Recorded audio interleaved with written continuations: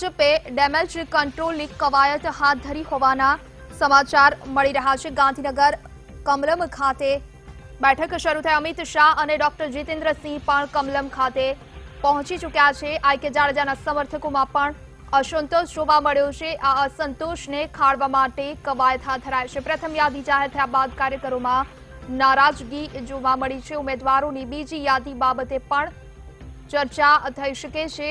અમિત શાહ અને ડોક્ટર જીતેન્દ્રસિંહ પણ કમલમ ખાતે પહોંચી ગયા છે. સૌરાષ્ટ્ર કચ્છના કેટલાક જિલ્લાઓમાં કાર્યકરોમાં પણ નારાજગી છે અમિત શાહ.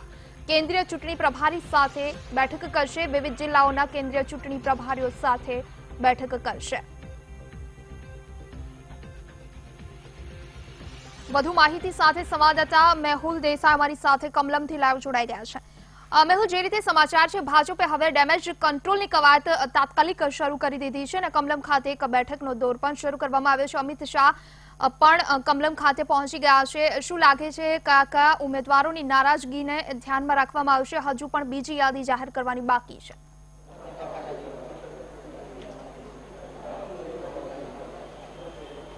બિલકુલથી મનીષા જો ખાસ કરીને વાત કરવામાં આવે તો જે રીતે ગઈકાલે પહેલી યાદી જાહેર થઈ છે તેમાં કેટલાક નામો હજુ પણ બાકી રાખવામાં આવ્યા છે. આ જે નામો બાકી છે તેની અંદર જાણવામાં મળી રહ્યું છે કે કેટલાક એવા બેઠકો છે કે જ્યાં જે નામ ઉમેદવારોના જાહેર થાય ત્યારબાદ નારાજગી પ્રવર્તી શકે છે સ્થાનિક કાર્યકર્તાઓને. તો તેને કઈ રીતે કંટ્રોલ કરવો તેને લઈને ખાસ રણનીતિ અને એક ચોક્કસથી ચર્ચા કરવામાં આવી રહી છે.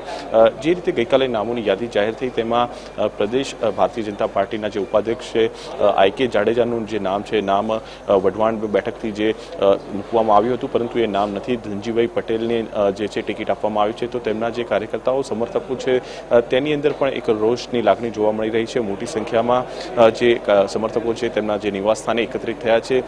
તો જે ગઈકાલે મોડી રાત્રે પણ આપણે જોયું છે કે જે શામજીભાઈ ચૌહાણ જે ચોટીલામાં છે, તેમના જે સમર્થકોએ જે નારાજગી વ્યક્ત કરી છે તેને લઈને પણ તેમને કમલમ બોલાવવામાં આવ્યા હતા.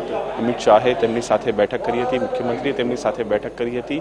તો જે એક કવાયત છે, કવાયત હાલ હાથ ધરવામાં આવી છે કે સમગ્ર જે નારાજગી છે તેને કઈ રીતે ખાળી શકાય છે?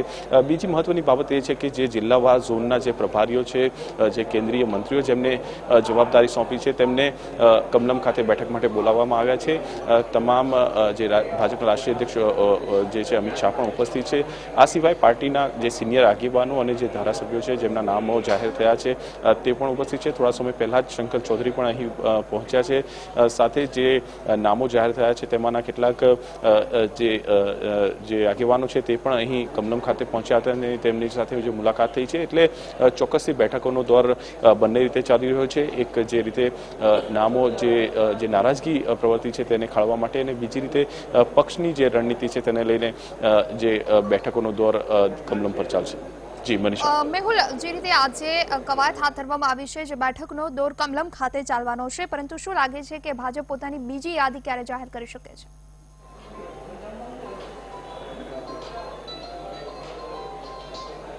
બીજી યાદી બાબતે ચોક્કસથી ક્યાંક ને ક્યાંક ભારતીય જનતા પાર્ટીમાં એક ચર્ચાનો વિષય બન્યો છે. કારણ કે જે રીતે પ્રથમ યાદી જાહેર થઈ છે, તેમાં ઘણા એવા નામો છે જે બીજા જે જે ચૌદમી જે ડિસેમ્બરની જે છે, બીજા તબક્કાની જે બેઠકો છે, તેનું નામ જાહેર થયા હતા. લગભગ પચીસ જેટલા નામો છે, ચોવીસથી પચીસ જેટલા નામો છે, હજુ પણ જે બાકી છે.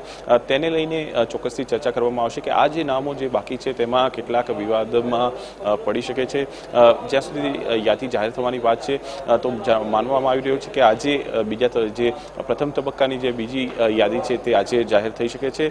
પરંતુ માત્ર એક આ ચર્ચાનો વિષય છે. ક્યારે જાહેર થાય છે તે જોવું રહેશે, કારણ કે જે રીતે બેઠકો થઈ રહી છે, અમિત શાહ પોતે કમલમ પર ઉપસ્થિત છે. તો બની શકે છે કે આજે જ જે યાદી છે જાહેર થઈ જાય. જી, મનીષા. બિલકુલ, મેહુલ, આપનો આભાર. સમગ્ર માહિતી આપવા માટે ભાજપે કવાયત શરૂ કરી છે. ડેમેજ કંટ્રોલની તાત્કાલિક કમલમ ખાતે બેઠકોનો દોર શરૂ કરી દીધો છે અને જે પણ કાર્યકરોમાં નારાજગી જોવા મળી રહી છે, તેમને અમિત શાહ મળશે અને તેમની સાથે ચર્ચા કરશે.